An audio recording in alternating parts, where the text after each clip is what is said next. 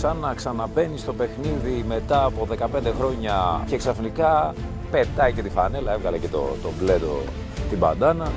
Ο Αλέξης είναι όπου τον φυσάει ο άνεμος και όπου βλέπει δυνατούς. Το ίδιο έκανε και με την κόκκινη ομάδα.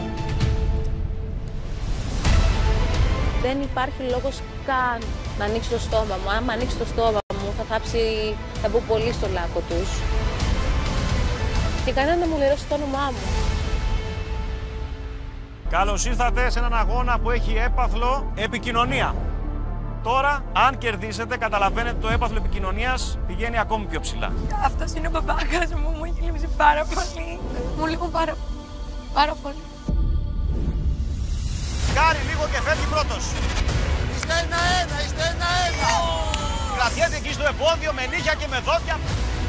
Κάνει την ισορροπία του, πρέπει να ξεκινήσει πάλι. Στο ίδιο σημείο και οι δύο παίκτες. Πολύ κοντά στο τελευταίο επόδιο.